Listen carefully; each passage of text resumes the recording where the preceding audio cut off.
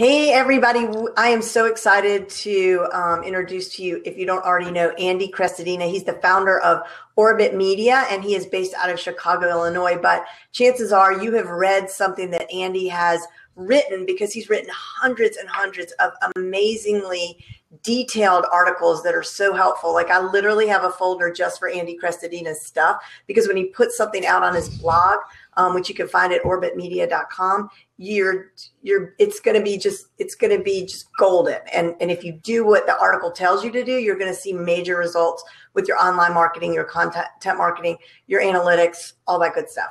Um, and let's see. So he's also in the third edition of this fabulous book called Content Chemistry. And what I love about this is it's so good. Like if you're a visual learner, like I am, so there's lots of it's like it's really colorful and there's all sorts of it just breaks it down really simply where something like this could be such a snooze.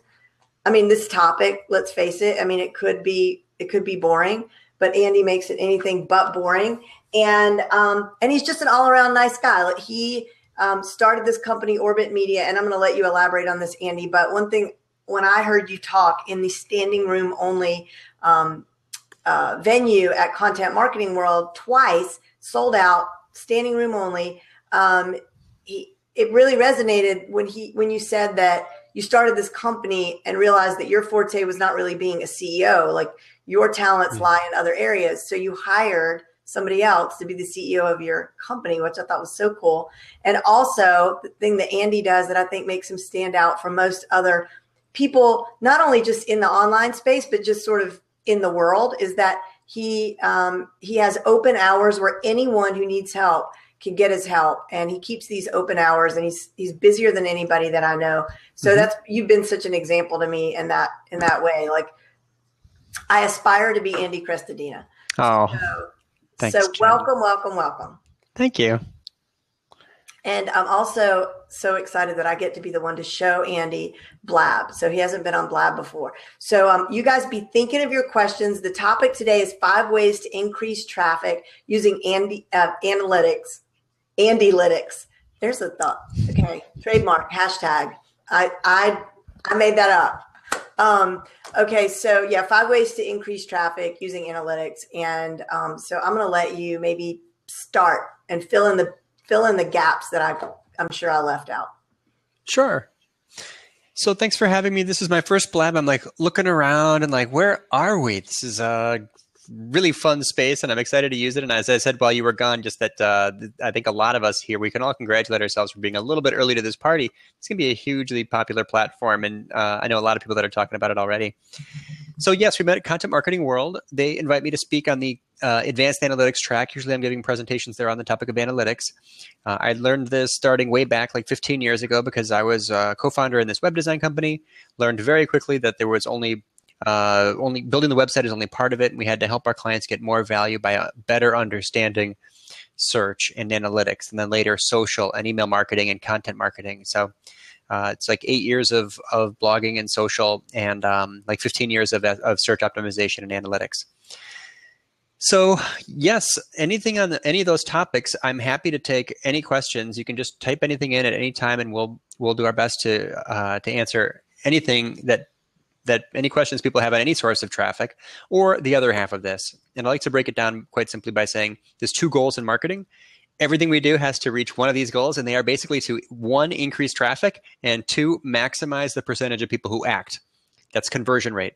So everything is really about both traffic and conversions. So the whole trick for us is to make sure that we are uh, doing things that increase traffic through search, through social, through email, those three those three channels mostly in content marketing and then also that are building trust and removing distraction and making it frictionless so that visitors who are on the site will take an action and uh, actually convert so analytics is a great compass and helps us make better decisions for both of those two challenges and so where do you want to start search well, or? so the one thing that you I want to I want to jump into analytics because I don't I don't use analytics um, like I should. I mean, I have a my website is powered by Weebly, so mm-hmm. it's not like so terribly sophisticated. So you know that's why even though I even though I have this really terribly simple website, your tips when I do you know put them to work always do show me results. But one thing that really stands out in my mind that you said was that naming your homepage home is like naming your book book. And I was like, wow. And that it matters so much what you name stuff. Um, is that right? It does. It's really important. So, the single most important piece of real estate for search optimization on any website is the title tag, but more specifically, the title tag for the homepage. And there is a sad number of websites that have home as their homepage title tag. So, the problem here is that you're not indicating relevance for anything. You're not helping people find your site. You're not telling them what you're about. It really is like a, the most generic thing. Like like if you did write a book and called it book, that would just be a terrible name for the book. Your homepage title tag is called home. That's indicating relevance for nothing. So what we need to do is to understand what business category we're in and what phrases we have a chance of ranking for within that category and making sure that that is the phrase that appears at the beginning of our homepage title tag. So it might be you know, Cleveland social media marketing, or if the training page might be about social media training in Cleveland, Ohio, whatever that that main would you know, imagine think it's empathy. So think of it that way. People who are looking for you are typing what into a search engine. You just go backwards from that outcome. It's empathy. The the greater extent to which we can imagine the mindset and the and the, the needs and the pain and the goals and walk in the shoes of our audience, that's the extent to which we're going to succeed. So the homepage title tag should almost always be the name of the category. If it's a service, maybe it's the geography. So for us, it's Chicago Web Design and Development. Uh, the fact that we have that indicates relevance in such an important way that we get traffic that we would never get otherwise. Uh, it helps us rank very high for that phrase, attracting a lot of very targeted visitors and uh, visitors we can turn into leads through conversion and through trust and through web design. So, but would your title of your homepage be Chicago what you just said? Chicago Web Design and Development dash Orbit Media. Put the brand at the end. So the homepage title tag, it's uh, you know, keep it down to like 55 characters if you can, but use the name, the business category, the phrase someone would use if they were searching for you. If they knew they were looking for your service, they would type what in, put that there, and then put the brand at the end. So it, uh, in our case, it's Chicago. I think it's Chicago Web Design and Development slash or dash or pipe Orbit Media. Okay. All right. So analytics, when you talk about um, increasing traffic using analytics, you're talking about Google Analytics, which is what is the what is the URL for Google Analytics? I think it's google.com slash analytics. I think it is That's too. Where we would all find it. To be able to see it for your site, you have to have the analytics tracking code put onto all of your pages. Uh, you have to have um, that. It's a tiny piece of JavaScript that appears on every page on your website. Make sure it's on every page, or else uh, the analytics won't be very accurate. It, it, causes problems if it's not everywhere. And uh, if you're using a WordPress site or a platform, uh, maybe like a um, you mentioned Weebly. These tools should yeah. make it very easy for you to do that. There's probably one place where you just copy and paste in the code, the number, and it appears everywhere. And so, how do we use analytics to increase traffic? Well, it's the way that we measure results. Every action we take, we can see what the results are from that action, and we can see what our visitors are doing based on that action inside analytics. So, for example, suppose we're sending a newsletter. We want to know eh, our email service provider, our email program, will tell us what percentage of people opened it and what percentage of people clicked. But that's all that service knows. It doesn't know what they did once they landed on your site. So we can use analytics through another trick called campaign tracking. We add a tiny bit of code to our links. We'll explain. And then that will show us how deep these people went, what percentage of them stayed, how many minutes they stayed on the website. So that's a once we have that information, we might realize, ah, email campaigns work best when we send them on this day of week, or email campaigns work best when we're when they're on this topic or they work uh, you know or the, this list this segment in our list is uh, tends to be more engaged. So it helps us get smarter. It, it, if you think of it, it, it's the opportunity to turn every action you take in marketing into a mini test and then the test results will show you whether or not you should do more of that activity or do less of it. Can it help you? Can google analytics help you figure out what you should be writing about? Absolutely. Talking about or creating like videos about? Definitely it's a great okay. example. So inside your analytics, there's a section called uh, behavior. There's like four main sections: acquisition or no audience, acquisition, behavior, conversions. Those initials, think about it as A, A, B, C. kind of organized like alphabetically, which is sort of nice. Um, audience reports are who's visiting, acquisition, where are they coming from, behavior, what are they doing, conversion, really what's working, or how are our actions making a difference, converting visitors from visitors into leads or uh, visitors into into customers or subscribers. So what they're doing, what topics are working, this would be in behavior, and it's under behavior all content. This is the report that shows you how your pages are performing, how your posts are performing. So what you do is you just pull up that report and look at all of your blog posts, for example, and then you can see which are there patterns. Are these blog posts connecting better than those? Are these topics more interesting to our audience? Are they are people spending more time? Are they seeing more pages per visit? Which of our blog categories are people digging through the deepest? Um, there are ways to get very particular about you know this analysis and understand more specifically uh, comparing pages to pages but uh, often at a glance you can see very quickly wow everybody's reading these i should go deeper on these topics i should write a follow-up to that piece what if you're just like just fake? You're just like i don't even know. I don't like you're not even you're not looking at what you what you've blogged about because you're just you're starting fresh. You're like all right i'm going to get serious about creating content that is what people want to read and and to do so i'm going to do my research. So like one thing i do in facebook is to find the groups of people groups joined by people who are the same people who i think would want to read what i have to offer. Mm-hmm. i will type in to graph search groups joined by people who like amy porterfield. Mm-hmm. and then that populates a list of groups and and then that's so easy from there. Then it's just like it gets more and more and more uh, like fractal i guess i love that. That's David great. say, you know? So so like how can you do that for a blog post to figure sure. out what to write about right so i would go outside of analytics in this case but just use google.com and let's say we were dog trainers uh, we might type into google.com why do dogs like we're looking for a topic that our audience cares about. People who are who need dog training might type in something like this would be a good topic for a blog post or for a video. So if you go to Google and you just type in why do dogs? Here, let's do it. This will take just a second. On another screen I've here. why I'm going to go to google.com. Dogs scratch the floor. And when we when we type in why do dogs, Google's going to suggest a bunch of other topics for us, right? Why do dogs space lick why do dogs eat grass? Why do dogs howl? Why do dogs pant? Now I type in the letter A. Why do dogs and cats eat grass? Why do dogs attack? Why do dogs attack other dogs? Why do dogs age so fast?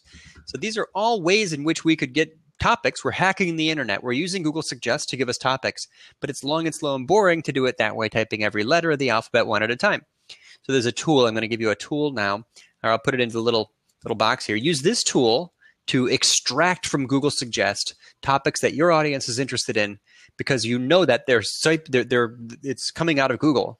It's called keywordtool.io.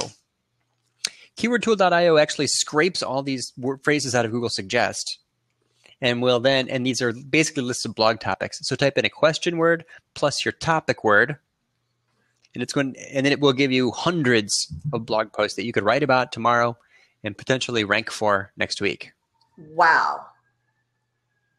Okay, can you give me an example again? Just so I mean, like I'm just like as sure. if I'm in kindergarten. So I'm going to, to keywordtool.io. Uh-huh. Uh, one second. And I'm going to type. I'm going to type "Why do dogs?" without finishing the sentence. Right? We want it. It's going to suggest something. Why do dogs?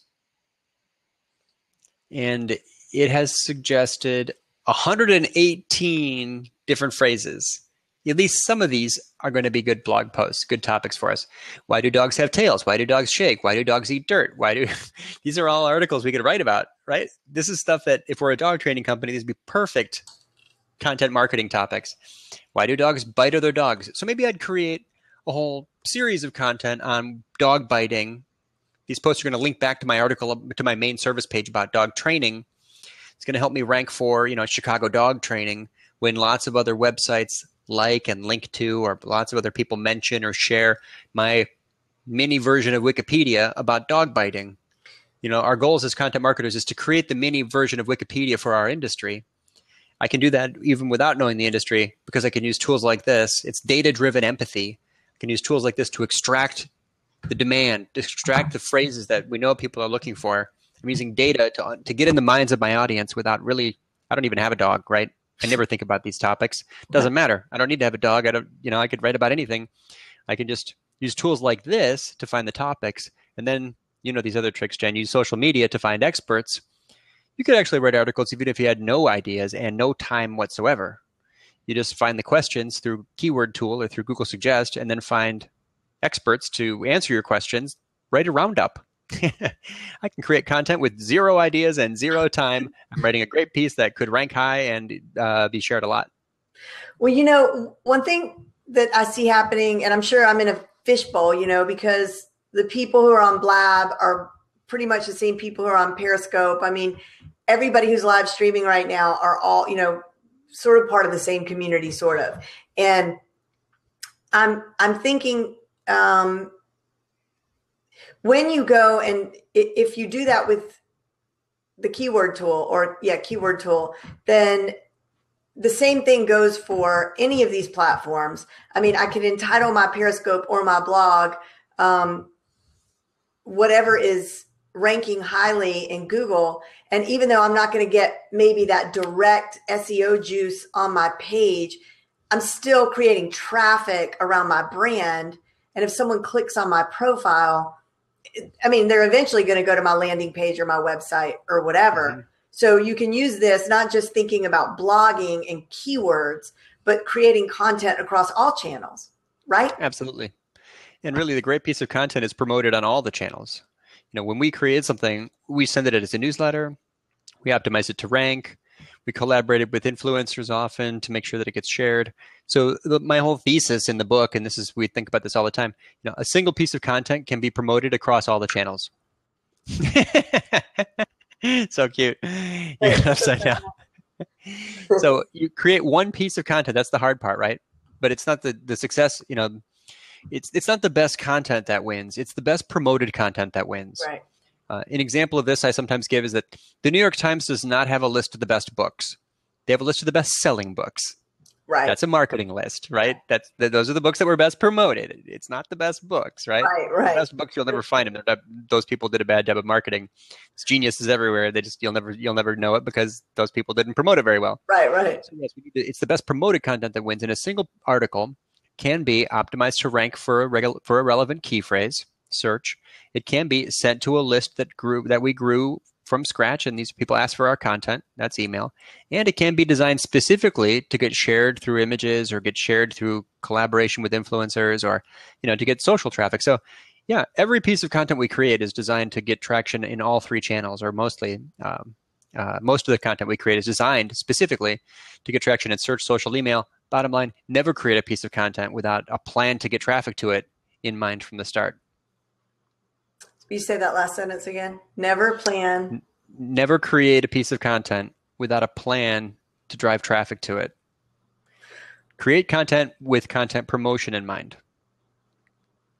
Well, okay. But what if you're just not passionate about that particular thing what if you just like you have something you want to write and you want to say and you just hope that you throw it against the wall and like it sticks and that you didn't do any research about you didn't have a plan i mean i'm not saying that because that's the way i operate but but you know i, I, I, know. I mean I, I will say oh my gosh appear.in is the coolest thing you know i've got to tell the world about it and then i'll do a tutorial and I didn't check to see if anybody wants to really know about it. I just created it and I hope for the best, you know? Sure. But that's probably not a good strategy. Well, it's not as likely to succeed. I mean, you can eventually succeed if you just try try you know shoot in every direction. Maybe you'll hit something. Right. It's possible. Uh, a way to in that example, you know, you maybe have a better chance of having that scene if you found a marketing manager at appear.in and included a couple of quotes from them in your article about appear.in, and then when, once it goes live, bring it to their attention, then they are very likely to share it. So there was a little bit of uh, ego bait. You put some, you know, you baited the trap and you included them in your content, knowing that increases the likelihood that they'll share. Or You aligned it with a key phrase. You wrote an article called, you know, how to create an online green room. You know, maybe that's a phrase that someone's searching for, maybe even a few people a month, maybe very few people, but you optimized it. You made the best page on the internet for that topic because you know appear.in is the best tool and a great answer for that question. Or maybe that was also included in your newsletter, right? That's one of the articles you made in this weekly roundup where you put all your best posts together. And so you've got a search, a social, and an email plan at least in advance. You know, you're thinking about the subject line in advance or collaborating with a marketing manager at that company, or you optimize it to rank for some, you know, maybe less popular but not very competitive phrase. So, you know, the the, tr- the trick is to make sure that we are thinking about how people get to it. That's really the difference between content and content marketing, right? The word right. marketing's in there because we're promoting this content. It's right. it's not just you know otherwise it's just like a personal blog. You're writing because you love to write, which nothing wrong with that at all. Right, nothing wrong with that. But if you have a, a, a you know a business goal that is aligned with this content, um, ideally we've got a plan to go with it to maybe um, try to get uh, some traction from it. So when you sit down with a, with one of your clients um, at Orbit Media and you know you you design this beautiful website for them and then it's time then they're like okay andy we need to know how we're going to get people here to look at our website. What if it's like the most boring company? Like what if it is just i mean what if they make zipper pulls okay? Like they make the pulls on the zipper maybe that's stupid. No, because they need a website too, because there's people, there's their customer that needs sure. to find them. What would you, how do they make content? How do people who think they have boring content get found? It's a great question. There's some people who have written entire like ebooks on this, like what to do for, you know, in really boring industries. In the case of the Zipper Pull company, their target audience is probably going to be people who are sourcing materials for apparel manufacturing so people who have people who are sort you know apparel manufacturing sourcing pe- professionals have what other concerns? You know they're thinking about online uh, on time delivery. They're thinking about reducing costs. They're thinking about quality control. So what is the broader spectrum of things that someone cares about in that world?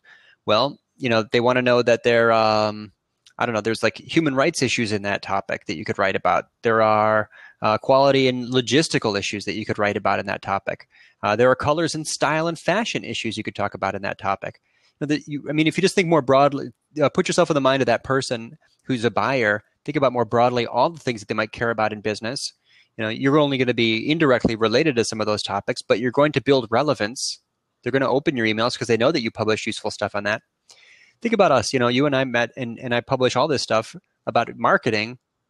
Very, very little of it's about web design, right? Right. How do I build an audience who cares and listens and wants to talk and you know will link to us and subscribe to us and follow us and share us? Web design is a very small world compared to the world of marketing. So we went for the broader topic. People who need our help also have these other concerns. So we publish all this stuff on this related topic to become a Wikipedia for a broader industry, for broader topics, so that when people do think of web design, uh, that they think of us. So content marketing is always about the mission of the business, help people make better garments or help people get better results from web. But it's in the broader context than just that one specific thing you do as a paid service or product. So no, zipper pulls, that'd be a fun industry. You and I would do amazing things for that company. If we had a client doing zipper pulls, Jen, we'd be we should collaborate on that. I think let's go find that company, that zipper pull company, because they need us. Um, they do. Help them. All right, but so Andy, you are when you do I just don't understand how so you speak all over the place. You you you have this big company. You do all this volunteering. You founded this um, B. What was it? B. Oh, we're a B Corp. Yeah, we're certified B Corp, which is a status that says it's like a 403B. Is that what that means? Uh, no, it's a certification that says that we have social and environmental causes in mind as we do business. It's a big trend, not as big as Blab, but you'll hear about it. I feel like such a moron because now that you said that, like I have heard of it. So, but okay. So you started one of those. Okay. So you're doing that. And and then, oh yeah, over here on the side, anybody in this room who's never read one of Andy's blog posts, just go over to Orbit Media and look at. He doesn't publish a blog post so much as he publishes like a manifesto, or or a whole book like every time you post a blog post and then it's such a lesson every time you do it because you do bring in influencers um, you and then it's like a step-by-step guide to do stuff so my question is how is that possible? Are you recycling stuff? Do you do you repurpose stuff? Like how do you put together something like that? It must take you days. Well, I think a lot of people have a bunch of posts in the back of their mind. So here's an example, and what, what might be my next blog post, I'm not sure yet. We don't have a con. Uh, here's a confession. I don't really have an editorial calendar. I don't have a strong plan. We don't know. I know it's true. I don't know what I'm going to publish next. I often don't know until the week before. Uh, so what I'm doing is I'm just thinking. You know, I'm collecting things for future posts all the time. So as an example, I used to I, I listen to audiobooks. I recently canceled Audible.com the unsubscribe process amazing they like kept they kept lowering their like while i'm trying to get out they're lowering their prices right. they're offering me free stuff they're asking me to take a survey i took eight screenshots of the unsubscribe process in audible i got off someone's email list and i saw like they they had a very clever like you know uh, don't get off our list message uh, you know so i've been collecting these like unsubscribe process screenshots so it's been three months of this now and i'm getting ready to publish a post so what I think a lot of people have is a bunch of things that are partly done. They have a big parking lot or like what do you call it, like ice box or something where they're just these things are kind of on hold. I have a spreadsheet with probably 60 half written posts in it. So whatever gets closest to being finished, I maybe will invest the time and focus on and try to get it done before the weekend. I don't want to work. I try not to work on the weekends if I can, but a lot of us do. Uh, so it's just having, you know, uh, content marketers are collectors have a mechanism for capturing things. Some people carry a notebook in their pocket. Some people have Google Docs or uh, uh, Evernote. So make sure that you are always collecting, you're always building lists, and that you're always building up towards something so that when you get time when the next one's needed, that you've got five or 10 options of things that are getting close to being ready to be fully fleshed out. All right. So I was doing this because I was waiting to hear what your what is your tool like do you, is it evernote is it what, what do you use to stay organized and that productive well, I use a Google Doc template, which I could share with everyone. Sweet. It's uh, it's wow, it's, yeah, it's my content marketing template. Here, try this. Search Google for uh, web content template. Web. We'll see if I ranked it. Content. This there. awesome. This the, is like the third one down is my website content template. So if you click on that, everyone. Oh, someone's having trouble hearing us. Deb Deb, it sounds like you can't hear me. Testing one, two. Oh no. Well, no one else. Can everybody else hear Andy? Jason?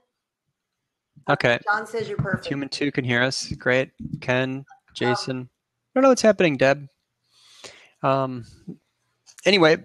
Wait, which I should. Uh, if it, if you guys search for website content template, you'll find that it's on orbitmedia.com the link at the top of that post goes to a Google Doc, which you should steal.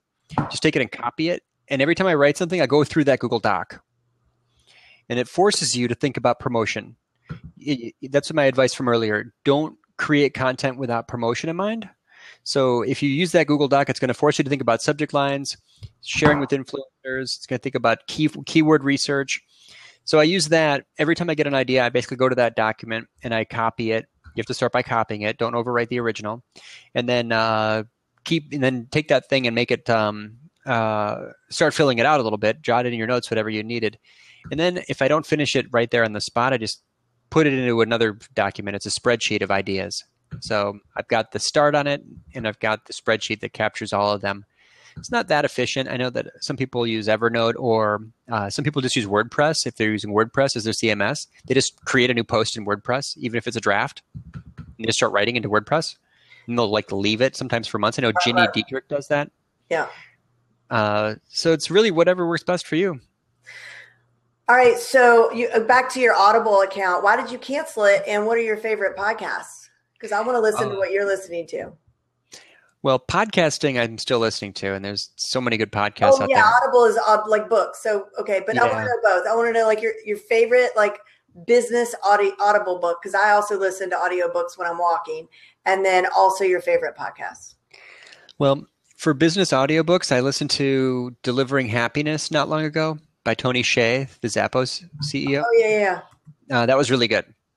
I also liked um, uh, there's that one Creativity Inc., which is about Disney or Pixar. There's there's a lot of good books. I like biographies of CEOs. Um, great, great stuff out there. For podcasts, uh, there are um, I'm a big fan of Social Media Examiner's podcast right now because he had me on last week, and I was really honored by that. Michael Stelzner, I'm a big fan of all the stuff they do. Um, I might be starting a podcast soon with Barry Feldman. He and I are talking about using Blab to make some kind of podcast, which would be you be must. fun. You have to. You, this It'd is so great. perfect. It'd be super fun. He's such a character. Do you know Barry? No, I don't think I, I don't think I know him, but I know you, and I want you to be on a podcast. Uh, then I appreciate the confidence. We'll probably do that. But uh, Jay Acunzo just launched one called Traction, which I recommend.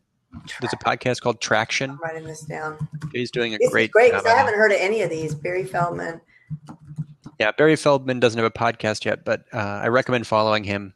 Okay. He writes all over the place. His Twitter handle is at Feldman Creative.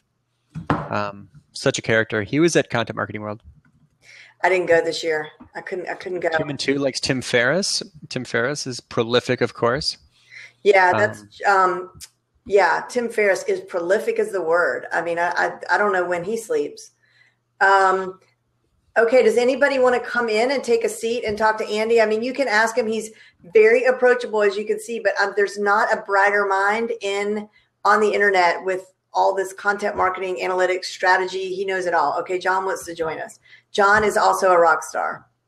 Um, John actually was live streaming like in the 90s for real. He had a company, uh, a live streaming company. I learned that today on one of his blabs. Um, so Deb says she cannot hear or see you, but everybody else can. Deb, do this. I bet you accidentally muted his window when you were giving people props.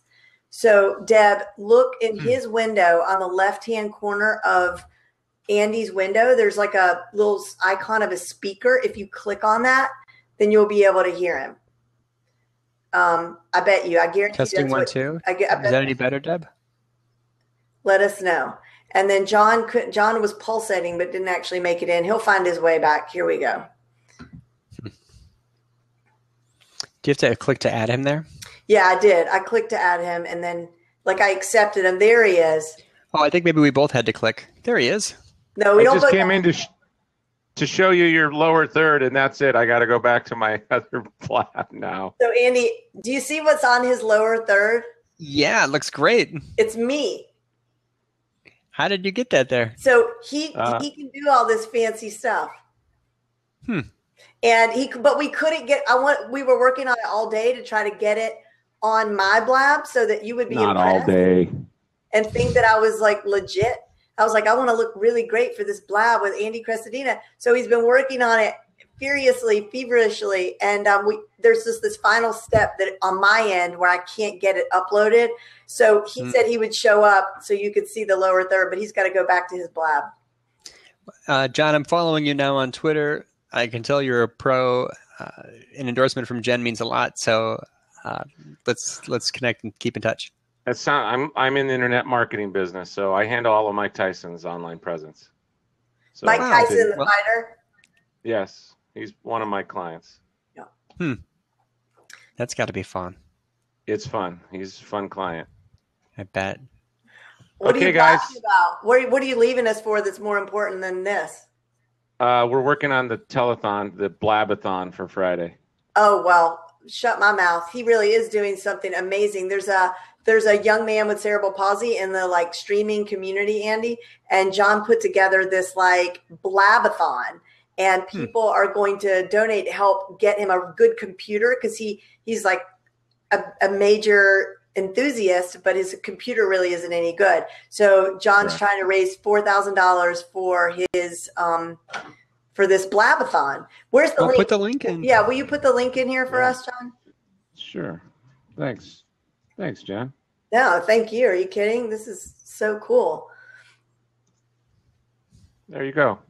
All right. Hey, Andy, I look forward to look forward to seeing your stuff. Uh, just from the five minutes I was in it, you obviously know what you're talking about. So I, I'm. Let's uh, connect. Sounds great. My pleasure. My pleasure to meet you. Hope to see you soon. Good luck with your day. Okay. Take care. Thank you, John. Uh, it was so funny when I first met John, and I was tell, asking people. I was doing a blab where I would like evaluate your your your your Facebook profile.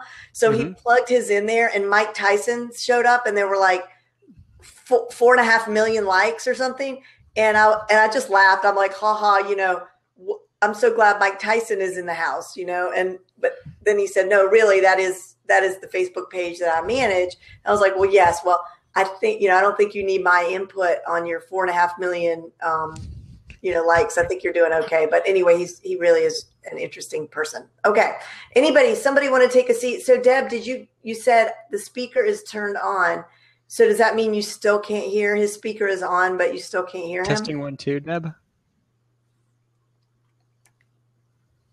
Hope, hope she's getting the audio here.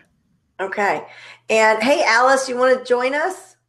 Uh, you had a really awesome blab earlier today. Chris, anybody want to take a seat and ask Andy some questions? He has your answer. Um, so, all right. So, okay. So let me ask you what right now, and not to put you on the spot, but what are your, what websites are you most impressed by in terms of their ingenuity and what they're doing with content marketing? Hmm. Well, the structure of the sites that I'm watching very closely are the blogs that are doing new types of layouts where it's just a single column with nothing with no nothing on the sides, no right rail, nothing at all. Uh, we're going to redesign our site here eventually, and I'm leaning toward a design that has a single column layout, uh, which works great on mobile, and it lets the visitor just totally focus on the image on the on the site itself, uh, on the content. I'm really impressed by editors and bloggers who are putting in more than one image into their content so that there's always something to see as you scroll down. For years, I told people, well, how many things can be the most prominent things on the page visually? The answer is obviously only one thing can be the most prominent thing on a page. Right. But actually, it's not the page itself. It's how many things can be the most visually prominent thing at any scroll depth. So ask yourself as you look at your website and what great people are doing on their sites right now is that they're making sure that there's always something that's supposed to be the most important thing visually, no matter how far down you scroll. So don't ever give your visitors a desert of text where there's just a big blocky area, you know, halfway down your thousand word post where there's nothing there but text. Put images in. Look at Social Media Examiner's blog. There's no depth, there's no scroll depth at which you can't see at least one image.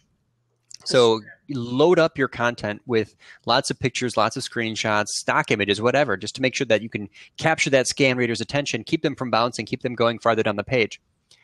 I'm also uh, really interested right now in how people are doing the uh, uh, using audio content. I saw Ian Cleary doing this. We mentioned Ian earlier.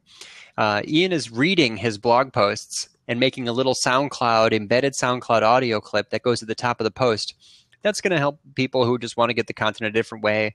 You know, I was trained to be a teacher, and we should always make sure that our we're appealing to our audiences many different learning styles and publish stuff that's you know interactive and text based and video and audio.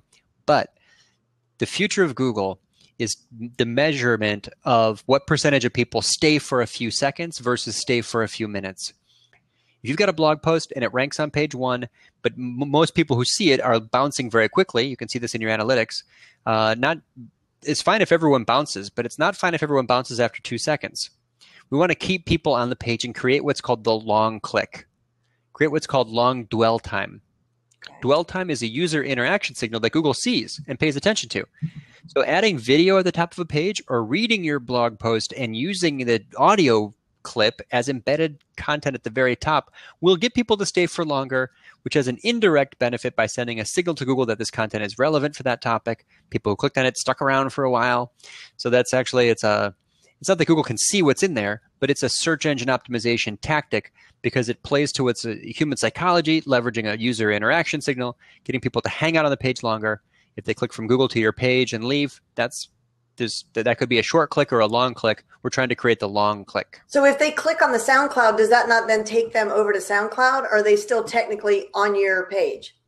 Yeah, I'm very selfish and greedy about sending people away. I don't want any visitors to leave any of my clients' websites. So keep them there. Don't send them to SoundCloud. Don't send them to YouTube. And whatever you've got, embed it there.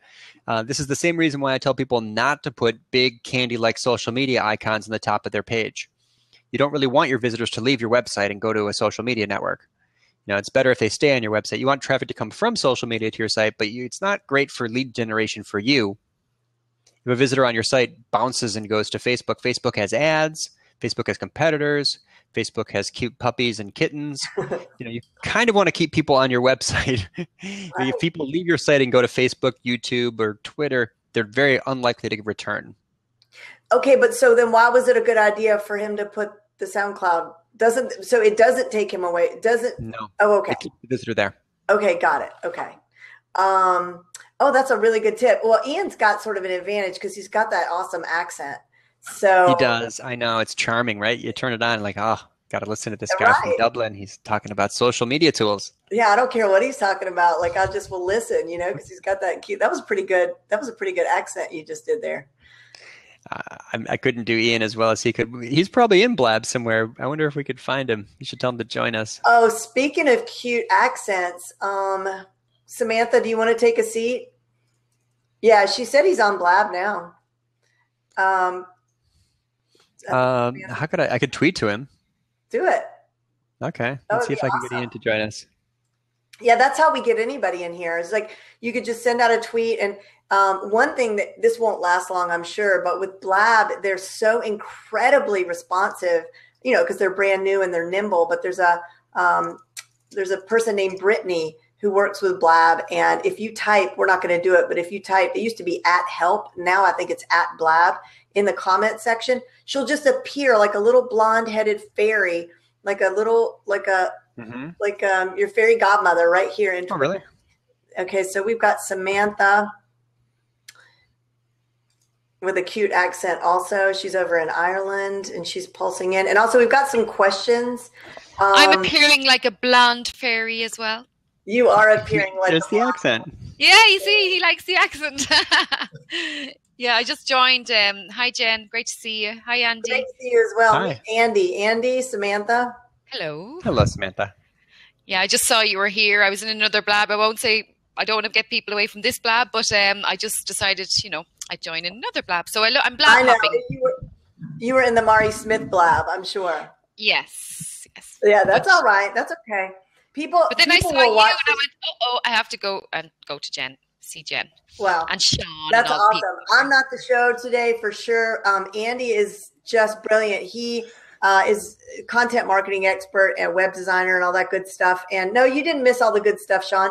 In fact, Sean, I'm just he said he missed all the good stuff. You need to um, take advantage of the fact that we have this genius here because really, um, Andy hasn't been over to Blab and he's not hasn't been scoping.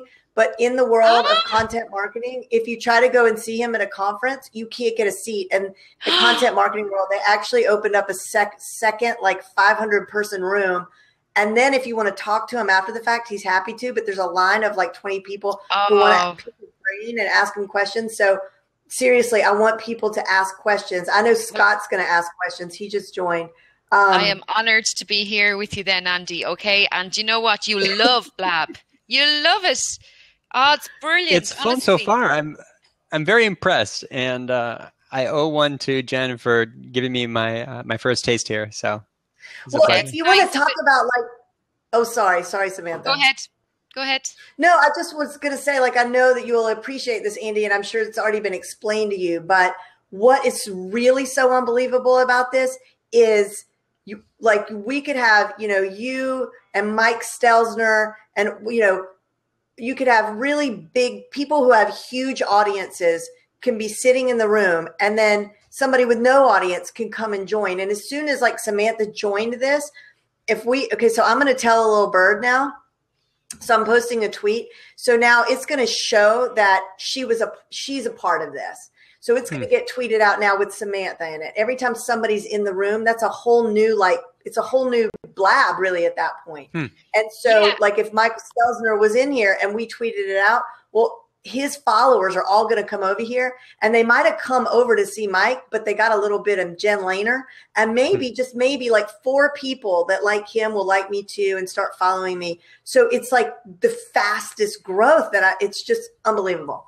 Yeah. Um, I need a better mic. Okay, let me hold this up. Is this better? I just look. yeah, I- that's nice. Yeah. Yeah, So I, I do need a better mic. I'm working on it. I'm in a hollow room, but we have some questions up here. I don't know if you saw them, Andy. Um, Chris wants to know any tips on Kickstarter content marketing slash. Am I? I'm not reading that right. It. Any tips on Kickstarter content marketing slash websites? Hmm. I've never done a Kickstarter, so I'm probably not the best person to answer this. But I people have. that do Kickstarter, have you? Mm. Samantha, no, you, let's you go ahead though. No, afterwards I'll tell you. Go ahead. Go ahead. Go, you go ahead. Well, I was just going to say a lot of the normal uh, marketing tactics apply. Psychology is important. Uh, Yeah. You want to make sure that the benefit is very clear. You want to make a video. People that do well make videos in there. Uh, if there's any mission or purpose driven aspect to your Kickstarter, you want to really play up the impact that it would make. Uh, talk about your history and your origin. It's a lot about storytelling in a very short space in that in that initial video, and then using all the full court press, out off-site tactics to do social and email uh, to kind of uh, you know invite people in.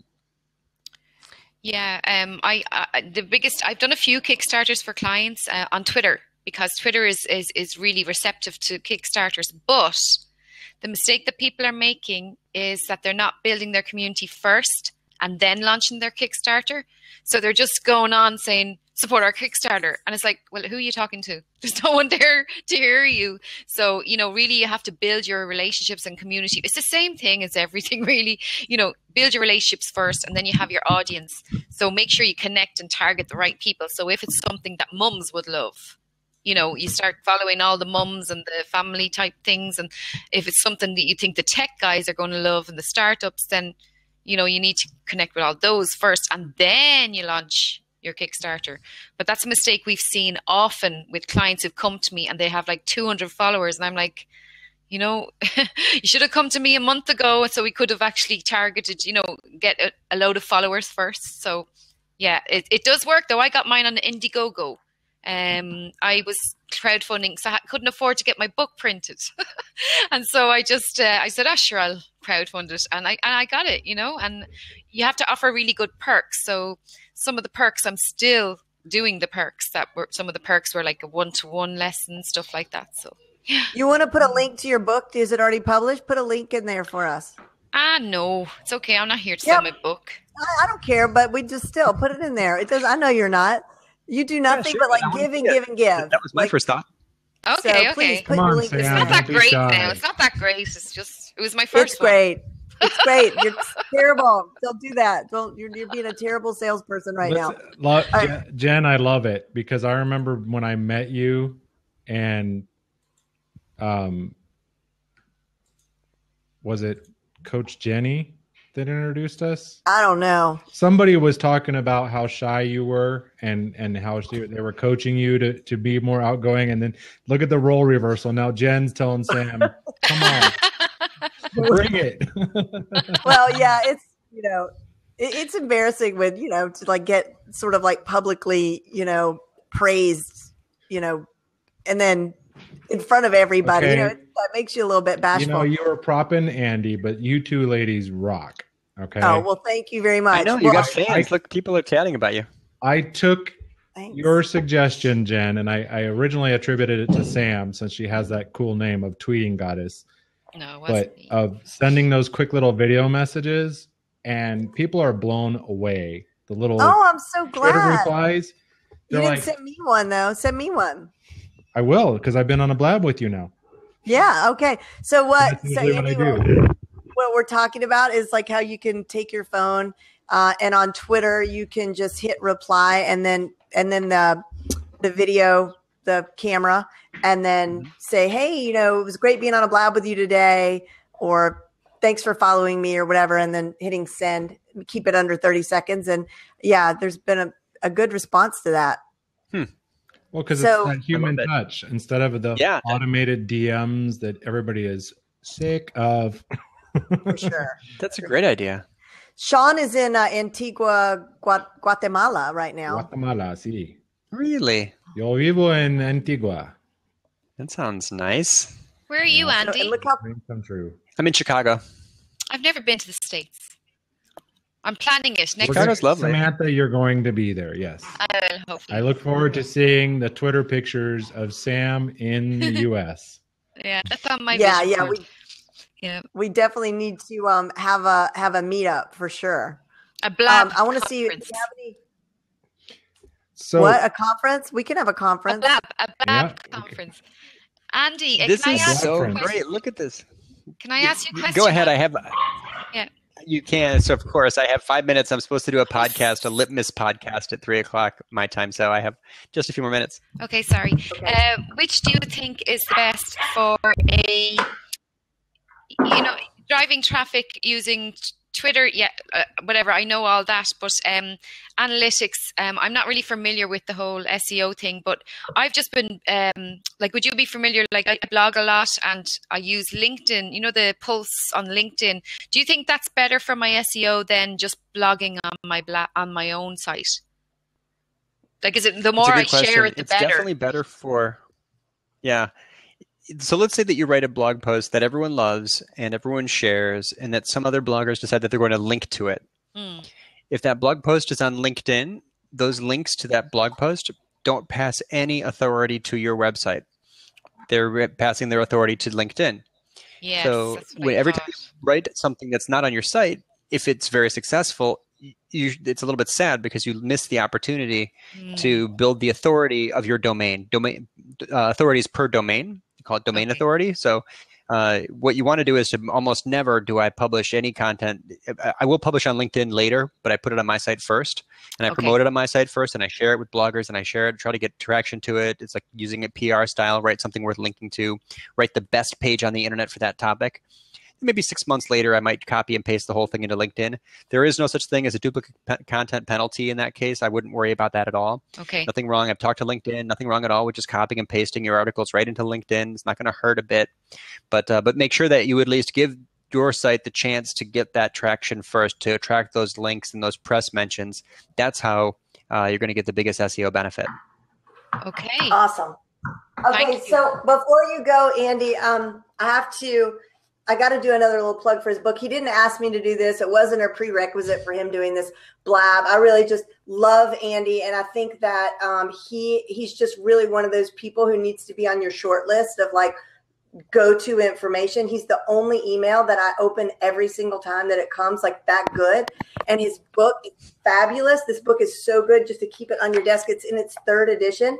And what I've done is I've entered everybody's name. I had to start at the top of the list to be fair of everybody who's in the room. And if you have an egghead as your logo, you got just you aren't entered into the contest. But we're gonna spin the wheel, and whoever wins, whoever's name it lands on, gets. Um, I love it. This is deadly. I am so impressed. Jen Here we go. wheel. Not on their scope. I'm so impressed as well. This is so exciting. Okay, I can't, I Jen, can't I love that your one. ideas. So let's see here. Um, embrace. Embrace begins the name of this Twitter handle. I shortened them. It's Embrace Oh, yeah. Parent. So is Embrace still in the room? Yay, that's you. Okay, so um, send me a DM with your snail mail, and you're going to get Andy's book. It's um, so, and you're going to love it. And Andy, Can you put the um, link for his um his newsletter please into the comment section? Can we get your link to your newsletter as well so I can sign up for that?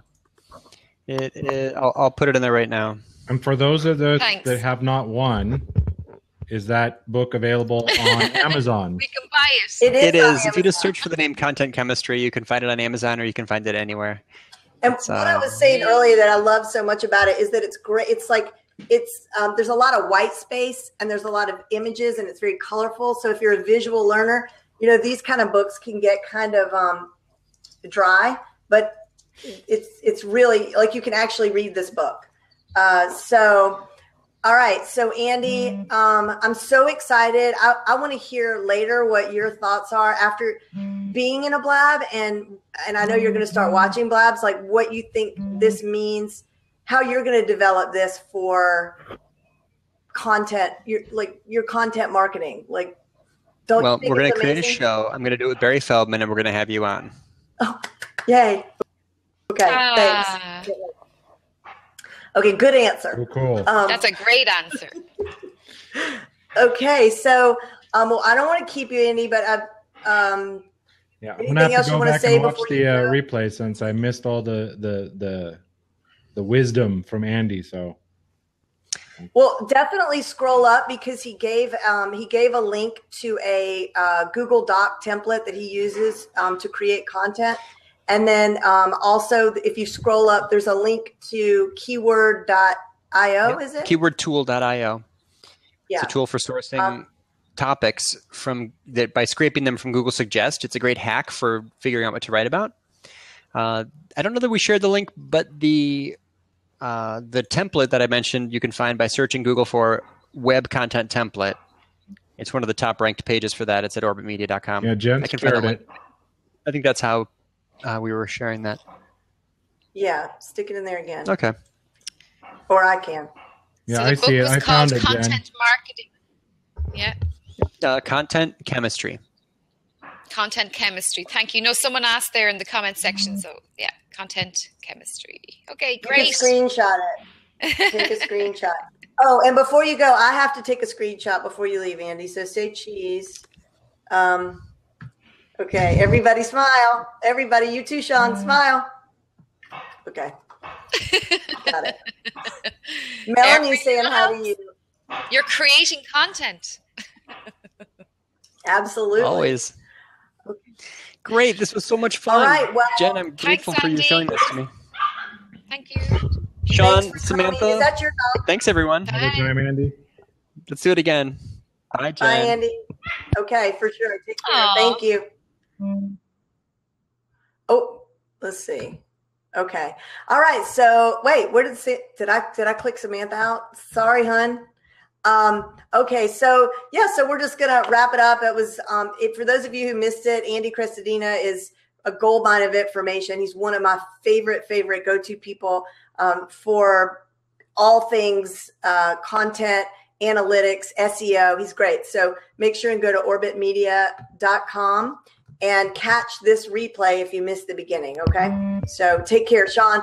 I'll catch you over in another blab here in a few minutes. I'm sure I'll find you And somewhere. is there a replay available? Did you do a blab with Janine or Johnine? I'm probably Matt, Um, the the lady that does the drawing. We're doing. She's going to be on my Twitter blab. Thank you for asking me. Um, if you go to my profile, you're going to see um, a link to my Twitter blab on Thursday, and Janine is going to be live graphic recording the whole thing. And um, because she wants to be, tr- she wants to test out her services. But she was on with Joel Comm last night. Yeah, you saw I- that, well, right? It came out in the blab email from Brittany with the Which I haven't read yet, but and, that was- and a picture of what she did from Joel's presentation. It's very cool what she's doing. yeah, it, it, it's it's she's she and she's been inundated with requests for her service after Imagine. that um after that lab and which is just it's it's just jaw dropping to watch the speed and the just the acceleration of everything with the way our networking and our relationships are growing in this Crazy. in this um, wonderful new platform. So blah blah blah. Okay. Um, all right, you guys. Oh, thank you. Thanks, Samantha. Put a link to my Twitter to the uh, Twitter blab if you guys want to subscribe and uh, catch the replay of this. Bye, Sean.